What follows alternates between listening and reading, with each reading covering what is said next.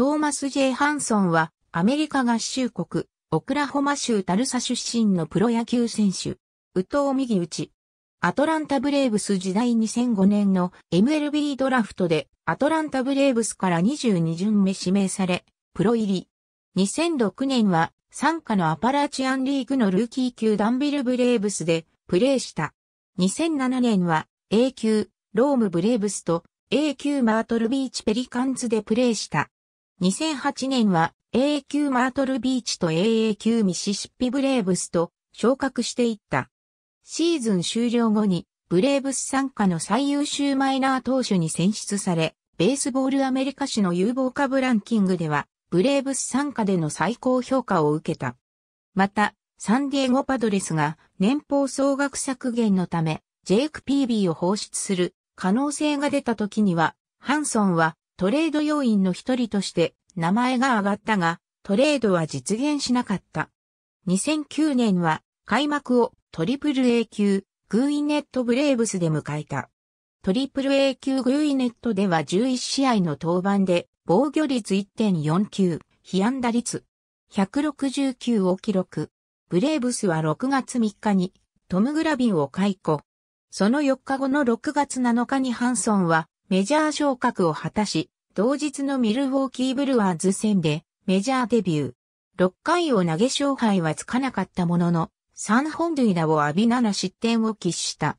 メジャー2試合目の登板となった12日のボルチモアオリオールズ戦でメジャー初勝利。6月を4勝0敗で終え、月間最優秀新人に選出された。また、6月12日から7月4日にかけて26イニング連続無失点を記録。新人選手としては、球団史上1982年のスティーブ・ベドローシアン以降で最長記録となった。11勝4敗、防御率2.89の成績でメジャー1年目を終えた。ブレーブスでは2012年まで4年連続で2桁勝利を記録した。しかし、2011年に右肩を痛めて、以来、球速が低下し、成績も悪化傾向にあった。2012年11月30日にジョーダン・ウォルデンとのトレードでロサンゼルス・エンゼルス・オブ・アナハイムへ移籍した。2013年12月2日に FA となった。2014年2月14日にテキサス・レンジャーズと200万ドル、出来高の1年契約を結んだが、3月26日に解雇となる。その後、4月7日にシカゴホワイトソックスとマイナー契約を結んだが、6月に故障者リスト入りしてシーズンを終えた。2015年5月13日にサンフランシスコジャイアンツとマイナー契約を結ぶ。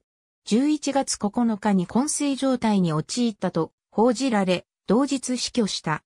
その後暫定的な検視の結果が発表。死因はコカインの違法な摂取とアルコールの毒性が引き起こした自発性合併症によるものだとされた。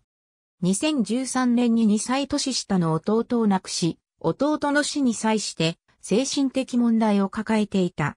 人生であのようなことは経験したことがなかった。どう対処していいかわからなかった。と語っていた。かつては最速 158km を記録した伸びのあるストレートとスライダーを軸にカーブ、チェンジアップを投げる。ありがとうございます。